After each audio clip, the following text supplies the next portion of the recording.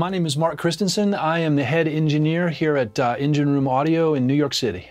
I started mastering many years ago in my apartment as kind of a lark. And uh, there was a producer that I was working with at the time. Um, I used to be signed to Interscope, and this guy was producing me actually, and came to my apartment to do some uh, pre production work on one of my records. And I started playing him some of the work that I'd been doing for local East Village rock bands, you know, some mastering, some mastering stuff. And he was so impressed by it that he started sending me some of his low budget records. And uh, ultimately, the mastering and the production work kind of overtook, you know, the artist uh, in me, I guess, and uh, that's kind of how it ended up happening. So it was more of a group of musicians, really, you know, uh, than one specific musician. It can be hard to describe what mastering is to people, you know. Um, as a mastering engineer, we use a lot of the same tools that you use as a tracking engineer or as a mixing engineer. Uh, you know, we're using EQs, we're using compressors, we're using, uh, you know, limiters, uh, same kind of set of, of tools, but we use them in a very different way. And, um, you know, I think that people sometimes get so kind of uh, stuck into one method of looking at things that they have a hard time looking at it from another perspective. And when you're mastering, that's really what you're doing is you're listening to frequencies. You know, you're not really listening to the songwriting. You're not really listening to the individual instrumentation. Um, you're listening to the, the source as an overall kind of sonic, you know, set of frequencies and, and perceived volumes, and you're working with kind of the finished product.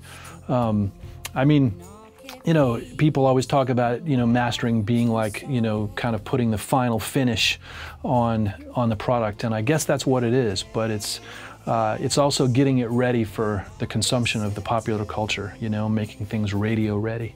When it comes to equipment, you know, I, I really try to use the tools in the context that they are most suited for. I mean, I know that sounds like a weird answer, but I, I'm definitely not dedicated to the digital domain. I'm definitely not dedicated to the analog domain.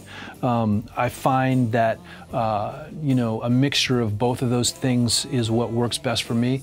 When it comes to the loudness wars, as a mastering engineer, you know you're definitely right on the front lines, right? I mean that's the the mastering room is where all of that is happening. You know, depending on what's going on with, with the EQ structure of a given track, um, you can often get away with less limiting than you think you're going to have to use and still maintain the perceived volume. Um, so that, that's basically what I try to do. I try to sort of use as little uh, limiting and, and compression as I can get away with while still, you know, respecting the fact that ultimately I'm going to have to deliver something that has a lot of perceived volume. As a mix engineer, the most rewarding mix probably is this song called Fine Ass Mess by Mr. Propz. Uh, he handed me a very digital uh, session file and I actually went in and retracked a lot of the drums and a lot of the B3, added some human percussion elements. Um, you know, did the mix, gave it back to the management team, and at first they didn't even notice that I had replaced a lot of the stuff, but they were just like, oh, this just sounds so much more lively, it has so much more life.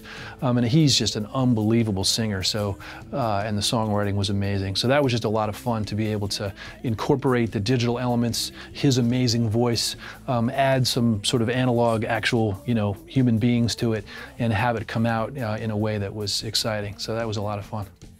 We've had some new artists coming in. Obviously, there's new artists all the time. Uh, we got this great new artist on Def Jam named Dave East, who's been working upstairs for a long time. Got some very cool stuff happening there.